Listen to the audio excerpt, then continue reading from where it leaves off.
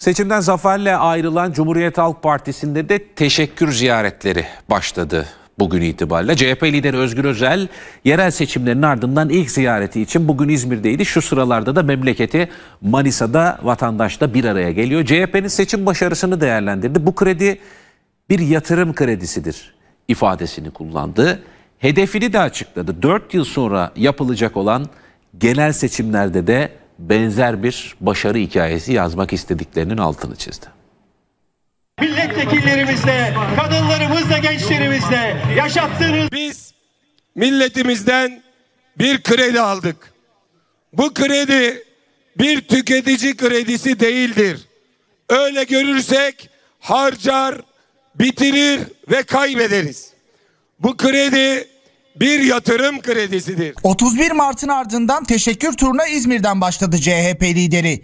Yerel seçimin muhasebesini yaptı. Mene mene and içiyoruz ki gelecek seçimleri rekor oyla Cumhuriyet Halk Partisi kazanacak. CHP lideri Özgür Özel'in ilk durağı İzmir'di. Seçimi kazanan belediye başkanlarıyla birlikte partililerin karşısındaydı. Değişim nerede diye soranlar İzmir'e baksın demiştim. İzmirlilere teşekkür etti. 4 yıl sonra yapılacak genel seçimleri işaret etti. Bu beş yıl kim hata yaparsa, kim yanlış yaparsa Atatürk'ün partisini girdiği ilk yerel ve ilk genel seçimde birinci parti yapma ve Atatürk'ün partisini ikinci yüzyılın ilk seçiminde iktidar yapma hedefime, hedefimize, Türkiye'nin bu büyük yürüyüşüne engel olur.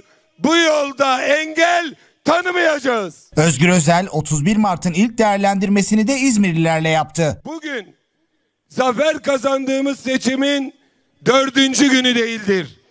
Gelecek zafer kazanacağımız seçimin dördüncü günündeyiz.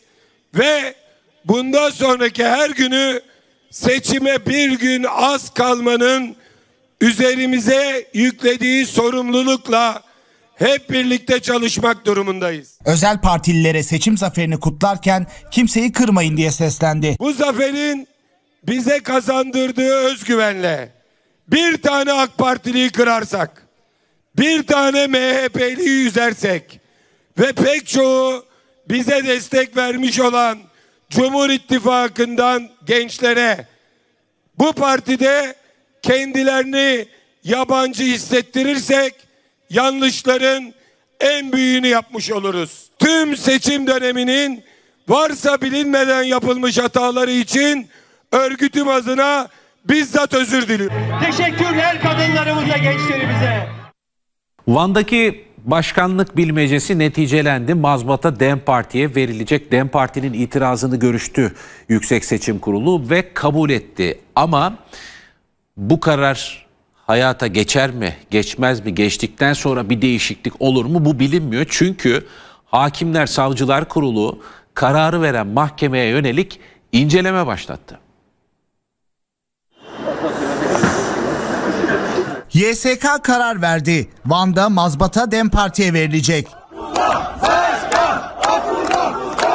Van İl Seçim Kurulu Başkanlığı DEM Partili Abdullah Zeydan'ın seçime yeterliliği olmadığı gerekçesiyle seçilmemiş sayılmasına ve sonraki en çok oy alan ve seçilme yeterliliğine sahip ikinci sıradaki adaya mazbatanın teslim edilmesine oy çokluğuyla karar vermişti. DEM Parti Van İl Seçim Kurulu'nun oy çokluğuyla aldığı karara itiraz etti. Yüksek Seçim Kurulu'na başvurdu. Yüksek Seçim Kurulu gündem toplantısında başvuruyu ele aldı. DEM Parti'nin itirazını kabul etti. Mazbatanın 7 üyenin kabul, 4 üyenin red oyuyla Abdullah Zeydan'a verilmesine karar verdi. Yüksek Seçim Kurulu'nun kararları bildiğiniz gibi kesin. Herhangi bir merciye itiraz olanağı yok. Anayasa Mahkemesi denetimine de tabi değil. Dolayısıyla başvurulacak başka bir makam olmadığı için e, Abdullah Zeydan'a Yüksek Seçim Kurulu'nun bu kararından sonra mazbata verilecek. Abdullah Zeydan!